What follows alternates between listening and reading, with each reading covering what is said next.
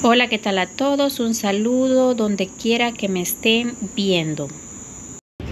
Este día preparamos una receta un tanto diferente. Tenemos antojo de comernos un ceviche de pescado. Lo primero que haremos es partir la lonja en trozos no muy anchos.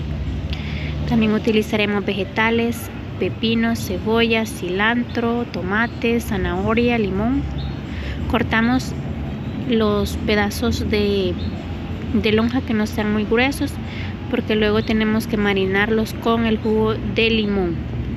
En este caso son 2 libras de lonja, utilizaremos un aproximado de 15 limones, el jugo de 15 limones. Los exprimimos sobre la lonja de esta forma. Vamos sacando todo el jugo de limón. Luego esto irá a la nevera por aproximadamente dos horas para que el limón pueda hacer su función de como curtir por decir así la carne de pescado. Es una receta bastante fácil de hacer muy deliciosa. Al que le encanta el pescado pues le gusta mucho el ceviche. Aplicamos generosamente el jugo lo ideal es que quede cubierto por jugo de limón. Así queda, lo tapamos y lo llevamos, como te dije, a la nevera. Los vegetales, pues la zanahoria yo acá la voy a hacer rayada mm, en tiritas no muy largas. El pepino, igual que la lonja, irá en trocitos.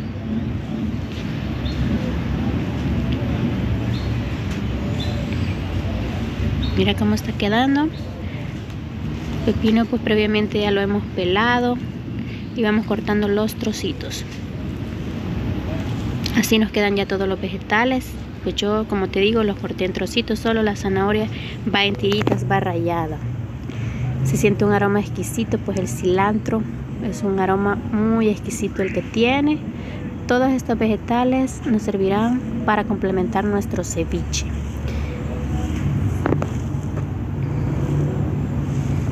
A estos vegetales le vamos a agregar dos cucharadas de sal. Se las aplicamos sobre todos los vegetales. Una cucharada de pimienta negra molida.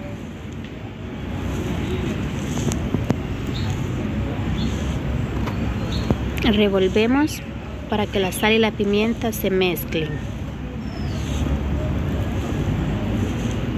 Como te digo, se siente un aroma exquisito. La cebolla roja y el cilantro tienen un aroma exquisito en este tipo de ceviches. Todos van picaditos y son vegetales frescos. El aroma, te digo, es exquisito.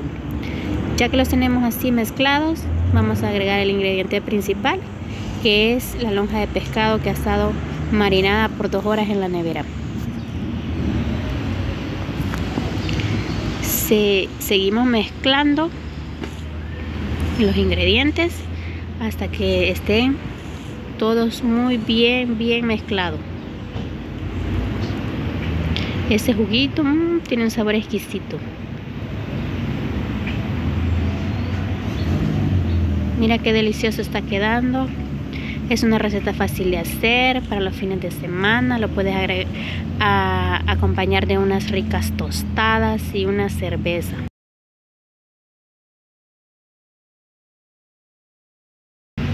Mira qué delicioso. Así se ve ya.